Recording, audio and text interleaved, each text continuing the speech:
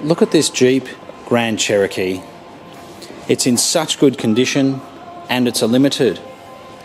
This particular car is a 2005 model, but it's an MY06, so it is the all new shape. It's got the 4.7 litre V8 and it's got quite a few options. My name is Philip Tarrant and I'll run through these with you now. It's got navigation, being limited, it's got leather electric seats, wood grain, climate control. This car's got low range. It is a four wheel drive, dual zone climate control, heated seats, and the list goes on. It's done 113,000 kilometres from new, and it's got a very good service history to it.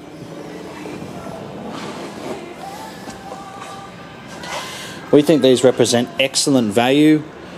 Astonishingly second hand, there's not a big difference between the old shape and the new shape. So we think you're far better off spending that little bit extra on the all new shape as opposed to an 03, 04, 05. Especially if it's top of the range like this car. It's got plenty of room in the back, it's a proper five seater. It's got a nudge bar on the front, it's got Jeep roof racks as well. It's got Yokohama tyres, all in good condition.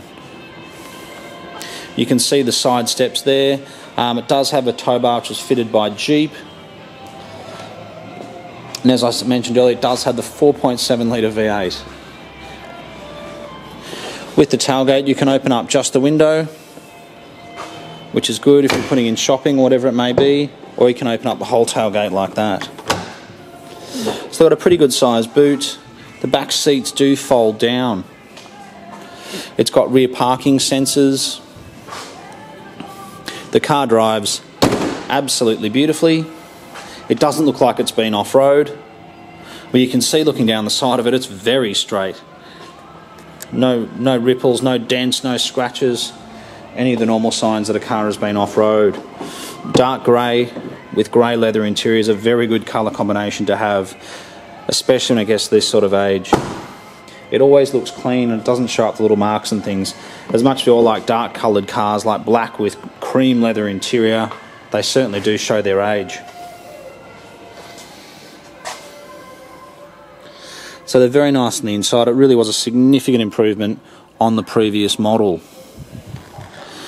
And I think if you're going to get a Grand Cherokee, you really want to get all the gear.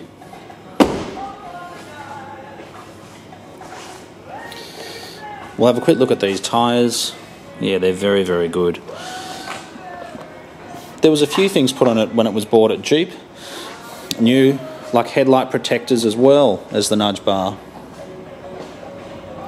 They're surprisingly good on uh, in terms of fuel consumption if you drive them sensibly. But in conclusion, if you are looking for a Jeep Grand Cherokee, you want to get a limited, you want it to be in outstanding condition, you really must come and have a look at this car. We are very proud to offer it to you here at the Oldtimer Centre in Marrickville. Test drives are welcome and we're open Monday to Friday from 8:30 a.m. to 5 p.m. Saturdays from 8:30 till 1:30 p.m. and there is someone here on Sunday mornings just for inspections only.